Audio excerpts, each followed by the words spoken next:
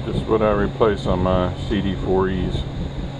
Of course, the LS kit. Uh, this one's going to need uh, direct steels and pressure plate. I've gotten to where I just put the entire bushing kit in these. I used to replace these four. Uh, this is the sun shell. These two go to the reverse drum. This one goes to the forward direct drum. I found that most of these bushings are pretty, pretty worn out, and they should be replaced.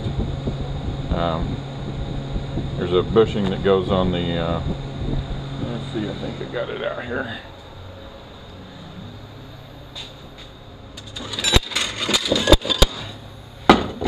This bearing here likes to blow up. But there's a bushing that goes in, in here where this rides. and I think it creates enough torque on this that it causes this bearing to blow up. I think that's what's causing that bearing to blow up. Of course the filter, I put uh, Sonnax 2.4 accumulator kit in it a superior valve body kit and the band. The band's not broken. the band will be broken, so change it. I also put a uh, no groove servo in these. They usually come with a with a one groove. I put a zero groove that extends it out, takes up the slack in that band. If you put a uh, younger kit in it to give you a washer to push that band up even further but uh, I don't put the younger kit in them anymore I had too many problems with them so I put this kit in and I put the no groove and the 2.4 accumulator and seems to take care of all my flare issues and, and all that kind of stuff and one thing I forgot was this uh, forward direct drum. These are almost always bad too. There's two different ones. There's a three clutch and a four clutch. And that has to do with the snap ring groove here. Also has to do with the way the return spring is put on back here. These drums like to split and crack where it's welded together right here. And depending on where the crack is, how it's cracked, is which set of clutches is going to just smoke. Uh, in this case it was the directs. A lot of times it's the forwards or the coast clutches in here. But uh, there's two different style drums. There's a good one and there's a crappy one. Do yourself a favor and buy the, spend a few extra bucks and buy the, the good one it doesn't go bad near as often as that crappy one. You get that one from China, and it ain't gonna last but maybe a week or so. And you're gonna be right back doing it again. Alright, a couple things on the CD4E here. I guess we'll start with the valve body so I can get it out of the way. On this uh, valve here that they have this Sonnax, I mean the Superior kit has it replaced. This little o-ring goes in the tip here and it seems to be a little little small so I just give a few little tugs there to open it up put a little grease on the tip of it put there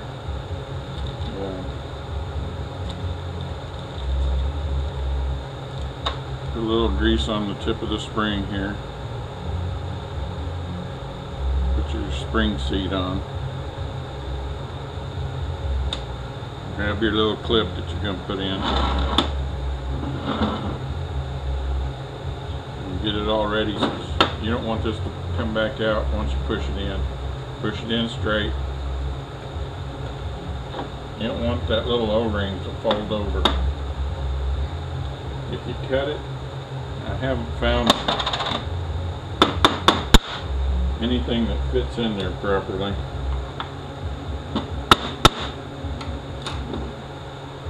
I don't know what you would replace it with, but I'm sure you can find something.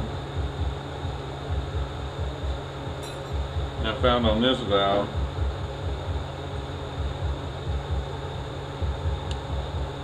get your screwdriver there's a little sleeve in there. You'll push that forward it pushes this out just enough so you can get a pair of pliers on there. And be careful.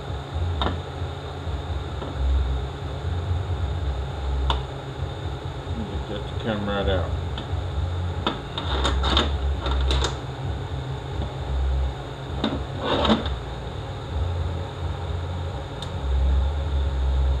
that black spring in they want you to put in.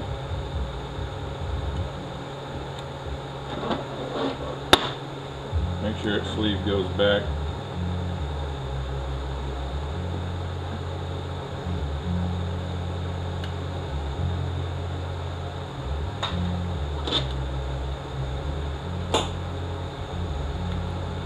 I use uh, the lineup pins for the valve body. They really come in handy.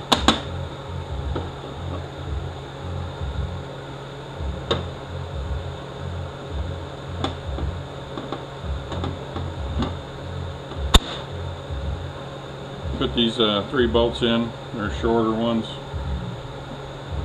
Put those in, tighten them down, make sure these pins move that easy. Then put the other section on, tighten it down, make sure they still move good. On your um, solenoid assembly, there's a little area right here. That part of the gasket goes there. You want to flip that over. Uh, your intermediate sprag turns that way, locks that way when it's in case. Forward sprag turns that way and locks that way. Put you a no groove. The groove will be down here in the tip.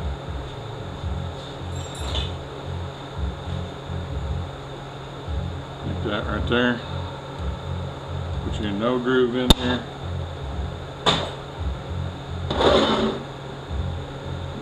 Kit has you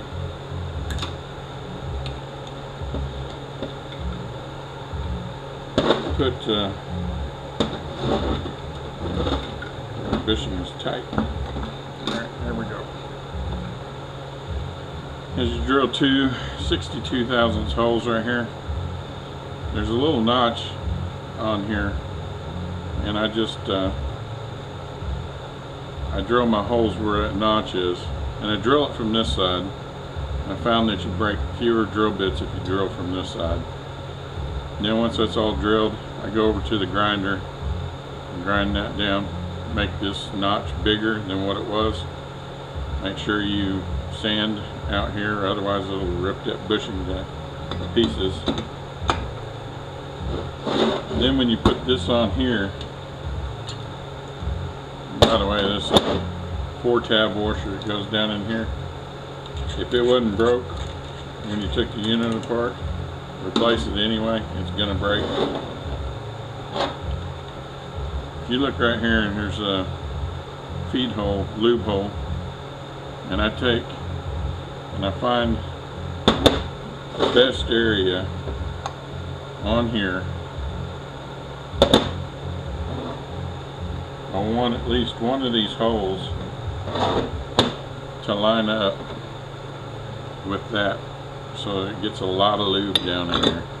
These bushings are really bad about wearing out, especially these and this one and uh, this one right here. Those are the bare minimum you need to replace, but like I say, I, I replace them all. So make sure it's all lined up. Another thing that you want to do is uh, make sure your battery connections are super great on these vehicles. And you also are going to want to run a extra ground strap from the battery down to the tranny on your pumps. These are uh, E4OD valve body pins. I take them out of a bad case and I use that to line my pumps up. Just screw it in here and line up the line up the pump with them and then tighten the bolts down. Uh, the early pumps, the plate here, had an extra hole. Memory serves me, it was shaped like that. I believe it was in this this spot right here. Is either in this spot or this spot. If you come across a plate that's got an extra hole, doesn't look like this one. This is a late plate. You want to throw that plate away and put one of these plates on there. Um,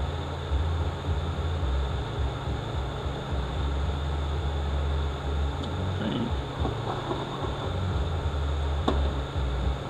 that might be it. Come back. These lip seals right here, easy to cut when you're putting them in.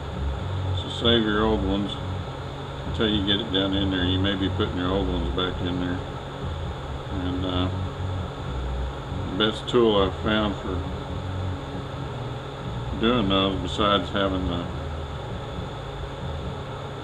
the installers for them, is that little lip wizard that they put in some of these rebuild kits.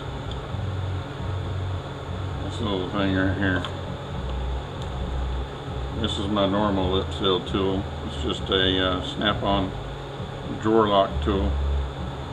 That's what I normally use, but on these I use this.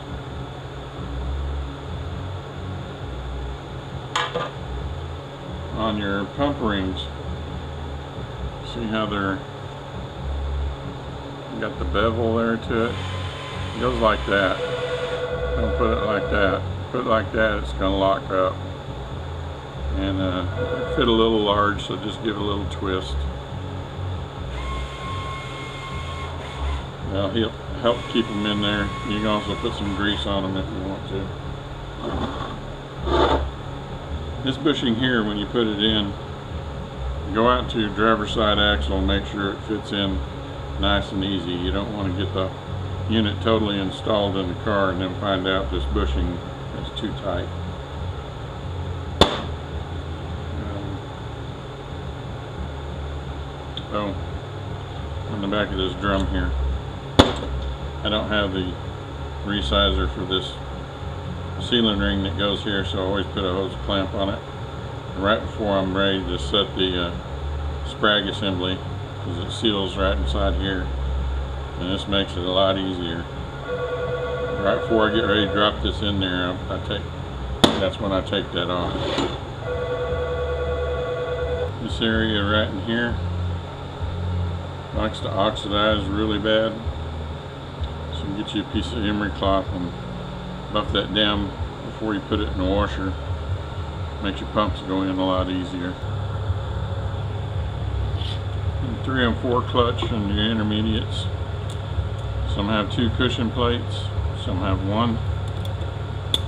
Most of the ones I see are like this. So opening in the steels goes right here.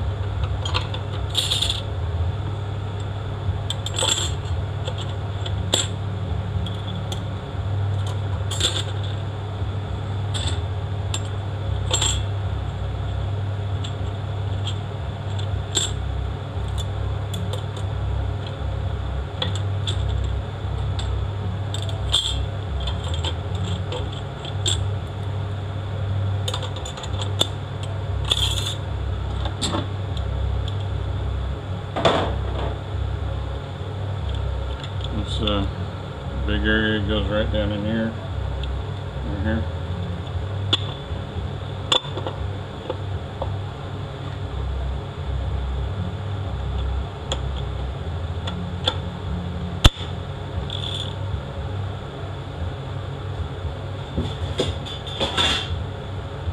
Snap ring.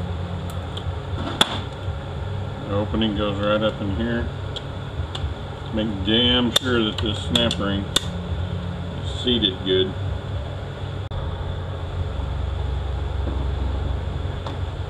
Different tooth counts on your sprockets, different widths, different widths of chains, different lengths of chains.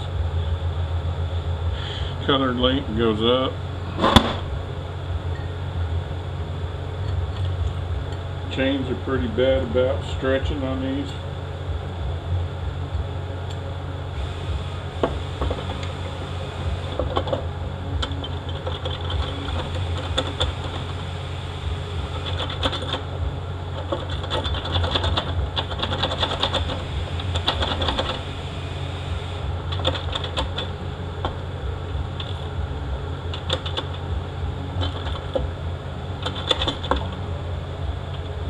Sometimes be a little tricky getting it back in there with new bushings. Tighten that chain up quite a bit from what it was.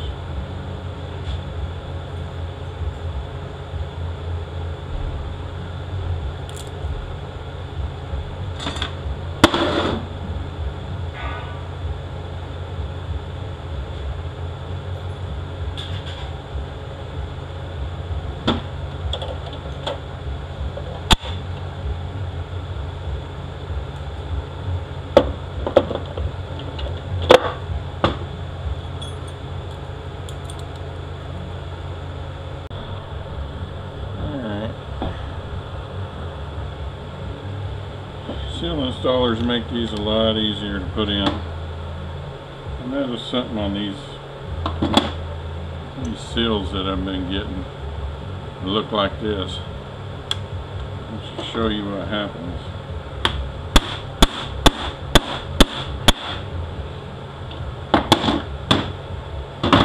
This little dust cap right here is going to come right off now. So I've been having to glue these in there so that they stay in there. But uh, front seals, I put a little 3M around the around the seal.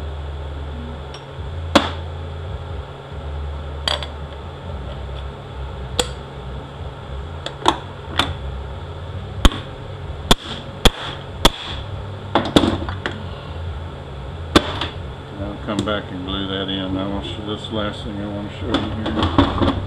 I think. Put my bands in.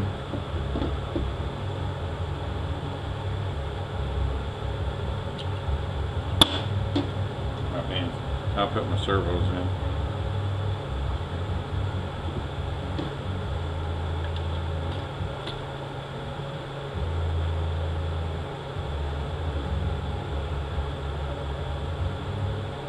A little lube on there. A little love tap to get them started.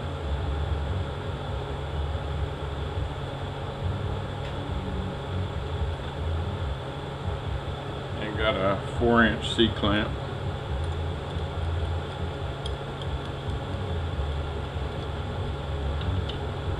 hook this in right there.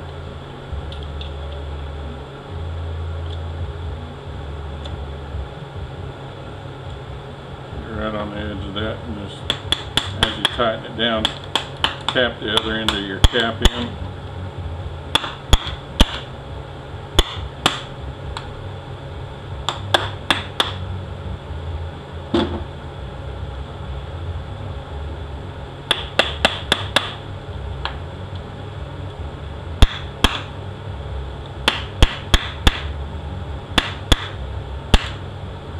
Is wanting to be a jackass now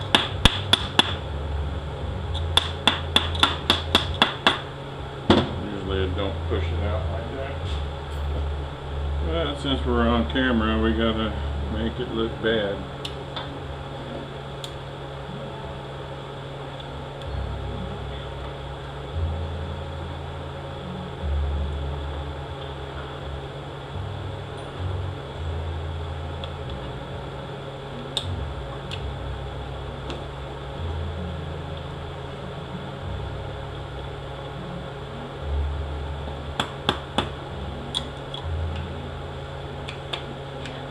The very end of it's gonna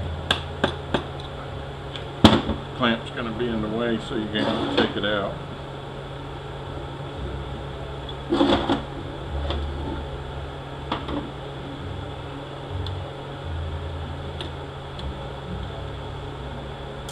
This is another thing you gotta make sure is damn sure it's all the way in.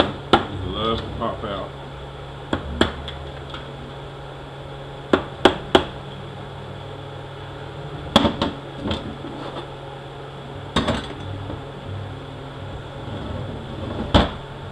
It's the only other thing to show how the linkage goes. Come back when I got the valve body all ready to go in. Need one of the long bolts, one of the regular bolts.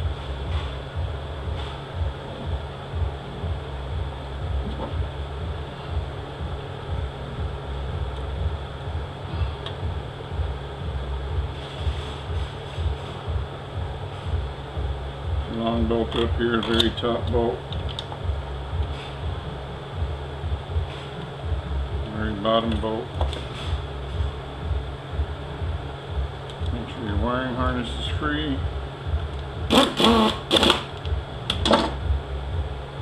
Once these two bolts are lined up, all the rest of them are lined up. Don't forget to make about making that sure that's in the right spot.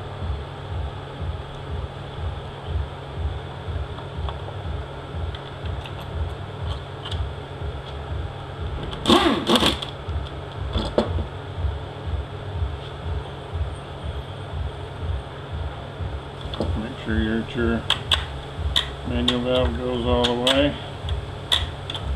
And we're good to go. I also forgot some of the earlier ones used to have the vent right over the solenoid assembly there. They were bad about blowing fluid out the vent. So if you got one that's an earlier model and it's blowing fluid out, you're supposed to relocate the vent. And you just move it away from the solenoid assembly. And uh, put you a new hose on it. You do it however you want to. It ain't that big of a deal. You just need to get it off of the solenoid assembly because it would squirt oil right out the vent.